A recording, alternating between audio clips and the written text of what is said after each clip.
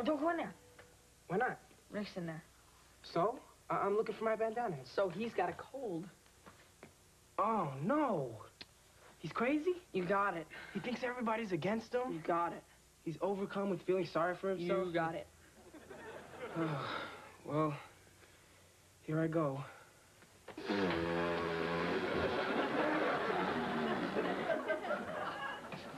What are you doing there, Rick? I'm suffering here, Alan. I I mean, what are you writing there? Obituaries. Why? It's what I do for a living! I know, I mean, I mean, why here? Because I left the office early and I brought some work home. Where the antelope play and the buffalo roam. That's that's rap. Man suffering. So, Rick, how come you're not working in your room? I wanted to be someplace where the wind chill factor was above 10. Um, so who you writing about? Jeffrey Bamberger. Did he die of old age? No, Jeffrey Bamberger was my age. He had no previous medical problems. He was in his aerobics class. He leaned over to touch his toes, and he never came up. he leaves a daughter, Tisha, 15.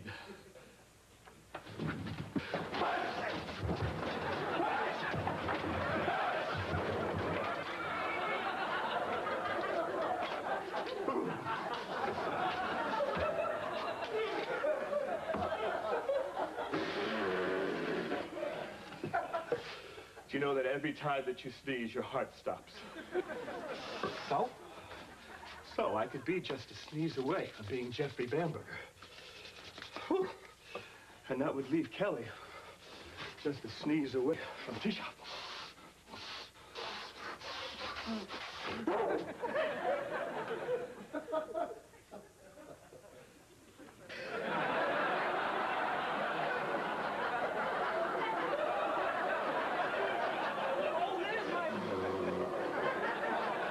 Bandana. I'm sorry, it was with the wash. Do you mind putting it back in?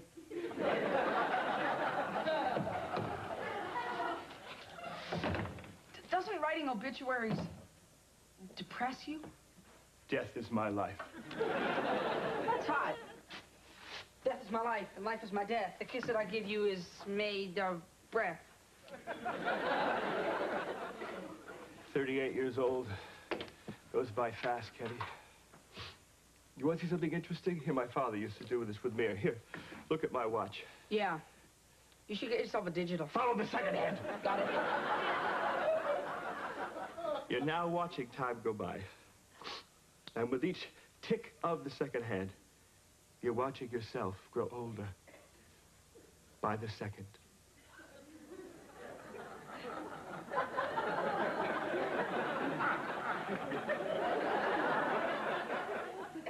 Isn't that interesting? Frankly, I find it depressing.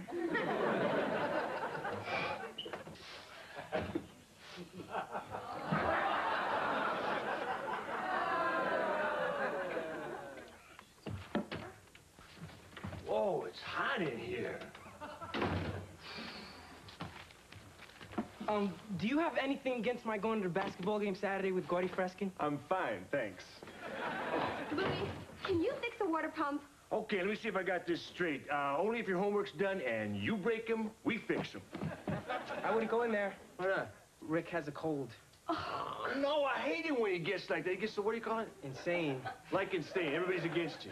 Paranoid. Right. Well, this time he's worse than last time. How so? He used my bandana as a snot rag. Cover me. I'm going in. Oh, thank God you're here. I need help with my nose drops. What's the matter? You can't find your nose? Every time I put my head back and I squeeze this thing here, I, I can't tell how much I'm putting in. Hey, well, you're earning a good living. Just top it off. I'll do it. Okay. Four drops at each side, please. Are you really sick? Oh, he's fine. He's got a cold. You know, Rick, if he isn't sick, he doesn't feel good. I hope I'm not allergic to these drops. Well, if you're not allergic to the drops, you'll be allergic to something else. The uh, bottle, the label, the uh, the bag that came in, the woman that sold it to you. Oh, sure. Go ahead. Go ahead. Make fun of a dying man.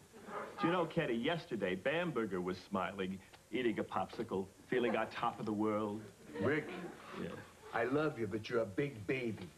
Oh, Dad, What? don't get too close to him. So, Daddy, babe, here's the thing. Where's the thing? Where? No, no, no. Check. I'm in school today, and they asked for some volunteers for some committee. Yeah. I'm on some committee. Oh, that's great. And it's not because Doug Altavecchio's on the same committee, or that he has the most sparkling blue eyes in the entire world. I used to have sparkling blue eyes. now I'm afraid the spark is dwindling down to one last fading ember. Let's assume that's the nose drops talking. I can't wait. Tonight's the committee's first meeting, and it's not because Doug is going to be there. Oh, right. I'm on the committee to restore the fountain in front of the school. I got original marble there, Kelly. That stuff's priceless. So, tonight we're supposed to ask our parents to... oh, here it comes. How much do you want? No, no, I want time. Time I could afford. When? Tonight. Tonight. Tonight. I'll go. I'll get dressed. I'll go. Look at you. There's no way I'll let you go. Hey, I'm not going to let you down, Kelly, babe. Sick or not. I'm going. Hey, I'll take the little lady. You'll do. Oh. Well, he won't embarrass you too much. And um, what about the pump? It's for the fountain.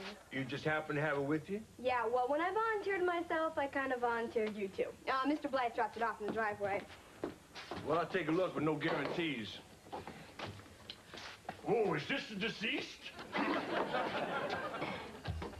By the looks of it, maybe we ought to just give it a decent burial. Along with me. All right, let's see. Here's the elbow. This is a neck joint.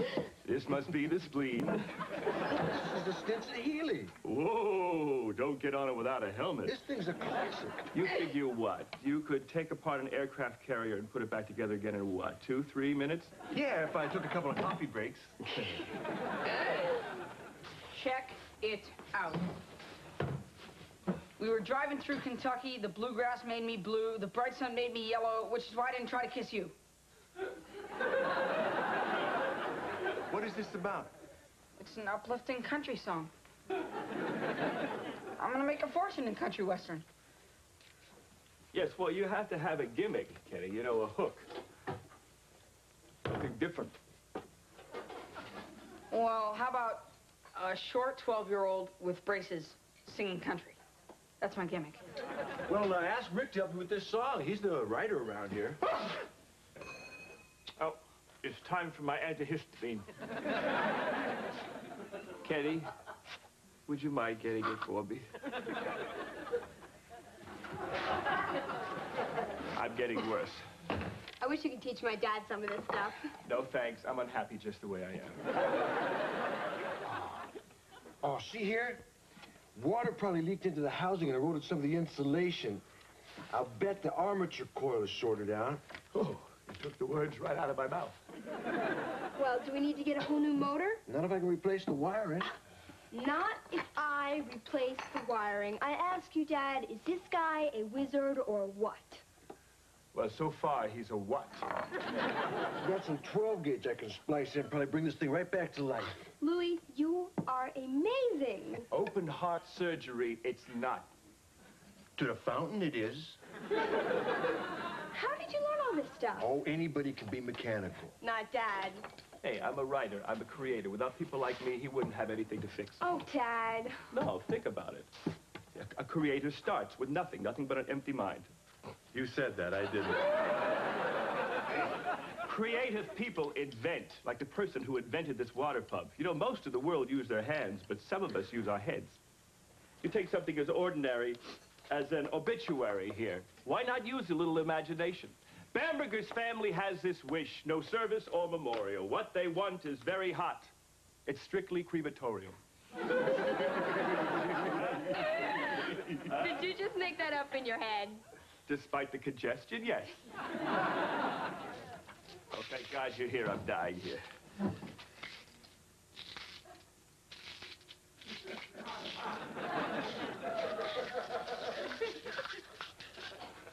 Damn thing's childproof.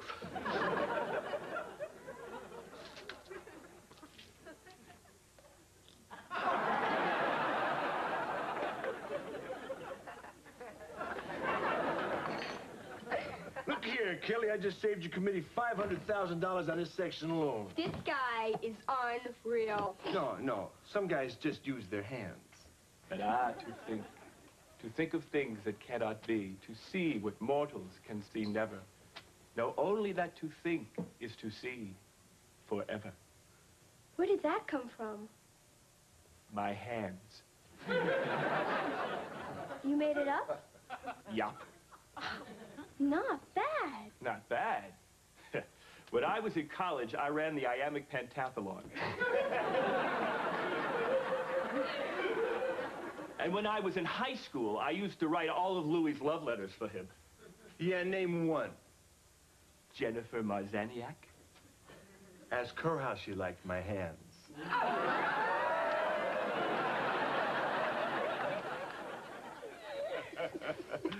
Looks like I'm missing a good party. Dad, what are you doing out here? It's cold. Ah, when you're sick as I am, makes no difference where you are, honey. Dad, can you believe this? He's almost finished. Ah, yes, but can he name the seven dwarfs? Where can I plug this thing in? Did you strain something? No, honey, I'm just trying to keep my chest warm. You know, next time I think she's gonna be able to put this thing together herself. yeah, she's one smart cookie. Yeah, stick with me, and pretty soon you'll be able to retile the roof. So come on, Kelly Babes, it's cleanup time. You called me Kelly Babes. Yeah, what? Just now. Did you hear him, Dad? He called me Kelly Babes. yeah. I guess it makes it official. You're one of our family. Uh, Dad, two minor requests. Uh, one, can I borrow your truck tonight? What's the other one? Uh, Nathan Waylock's parents need help cleaning out their attic tonight, and they're paying three bucks an hour, so can I go over there? You finish your homework? Dad, that's a question you ask Alan, not me. Where's Alan? The library. Hey, you want some help with your songs? You hang around. Your old Uncle Rick here will uh, give you a few pointers, you know? Writer to writer. Yeah, well, old Uncle Rick, I really appreciate it, really, but I got a firm offer at three bucks. I gotta take it. you know, this thing isn't getting hot. Oh, yeah, you know, it's a famous heating pad. Lori Penman's dog gave birth to a squadron of beagles on it. Maybe my dad can fix it. Have fun and don't be late. I will and I won't. Well, all I have to do now is separate these pipes and we're out of here. well, can I help? Um, I don't know. These things are really jammed in here. Eh?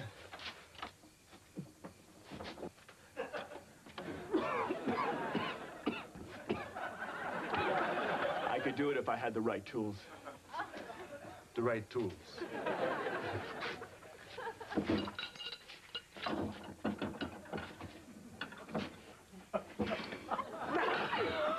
Hey,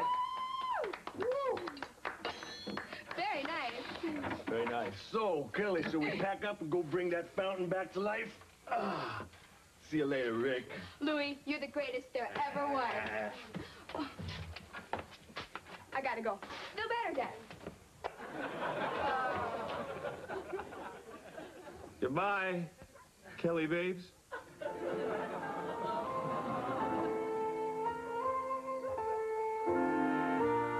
How much did you make? Six fifty. It's gonna take me forever to save any real money. How do people do it? Well, people aren't you. Now, what does that mean? Kenny, people 12 years old have other things on their minds besides money. Yeah, like what? Sex. Then we know different people. Kenny, look around. You got a nice house, right? Nice clothes, a nice bike. What do you want that you don't have? Money. But why? What happens if something happens to Dad? What happens if he gets sick? What happens if he dies like that guy Bamberger? Who's going to give us money then, huh? What then?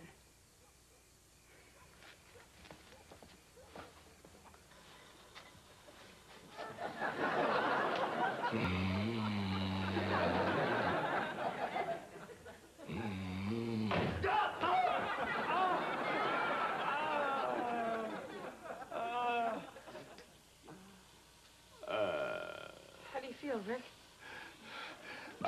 Stuffed. My throat is sore. My bones ache. And I just scorched my nose. Also, I'm dying. Nice chatting with you. Also, I'm angry!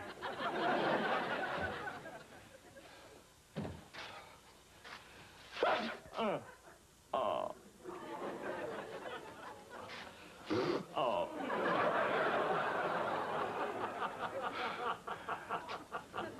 I feel miserable. I hate being around sick people.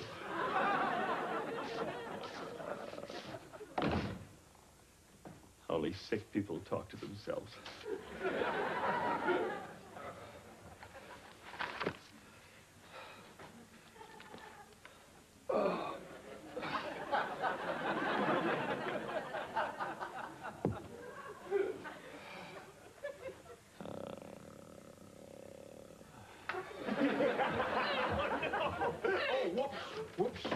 Woke him.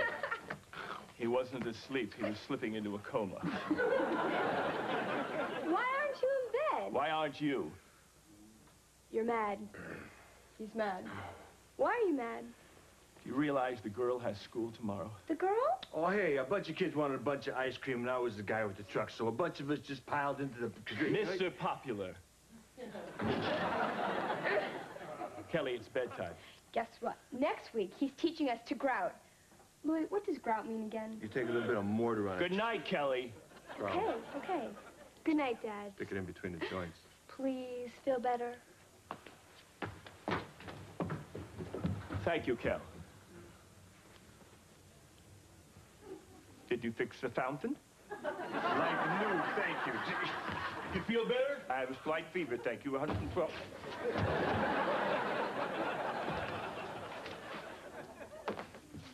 Was everybody impressed? Oh, I don't know about that. But they are going to name the fountain after me.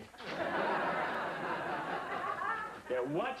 Oh, it was terrific how they all put me up on their shoulders. Oh, yes, that's Carried me around to school. You think, Then don't think I don't know what you're trying to bottle do. of champagne. With all this Kelly I might have been stuff, the you're best trying to make me there. feel jealous. Jealous? Seriously? Yeah, you know what I'm talking about. You're trying to steal Kelly away from me when I'm dying here. You're delirious. I'm serious. The end of your nose is extremely red. I accidentally charred it.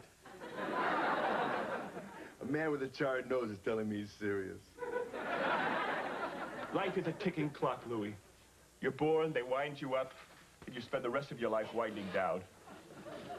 What have I done with my life? What quality time have I spent with my daughter? Our kids aren't kids anymore, Louis. Look at tonight. Everybody's off. Everybody's off.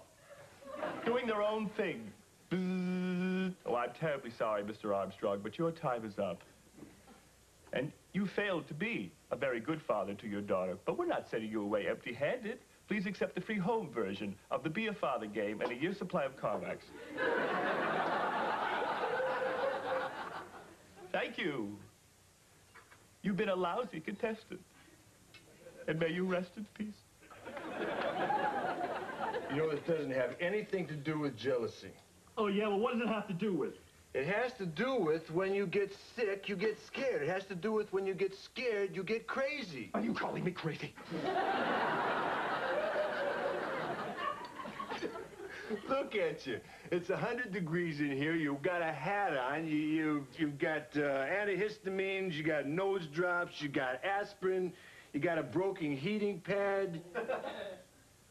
You got a temperature of 98.8. You got a charred nose, and I'm trying to steal your daughter away from you. Am I calling you crazy? You might say that. But you want to know what? What? I understand. We all understand. When when you get sick, this famous head of yours kicks into overdrive and you get nuts. We all understand it. And we all hate it very much. But that's who you are, and that's why we all love you very much. So come on. Drink this and try not to think. What is it? From the guy who's trying to steal your daughter away from you, what else? Poison. Needs more cyanide. Listen, for, for what it's worth, I'll tell you the way I see this whole clock business. We're all Timexes. We take a licking and keep on ticking. Oh, maybe you're right. I do get a little crazy, huh? It's not true you're trying to steal Kelly away from me. Of course not. Kelly's tried to steal you away from Well, me. for crying out loud. I'm just kidding. Cheers. Cheers. Good night, Kel. Dad, Yeah? would you tell me a bedtime story?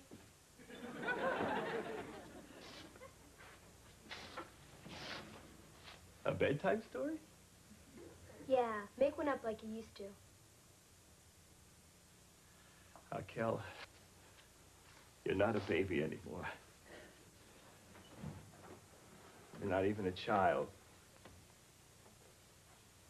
You're growing up fast.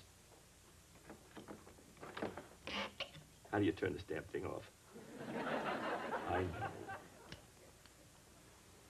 Please. Come on. Get under the blankets.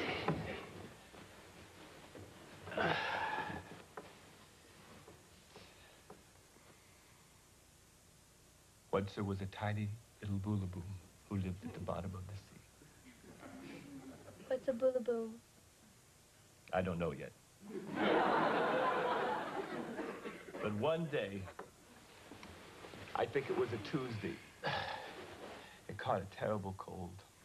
A boolaboom, he blows himself up 50 times his size by going boola, boola, boola.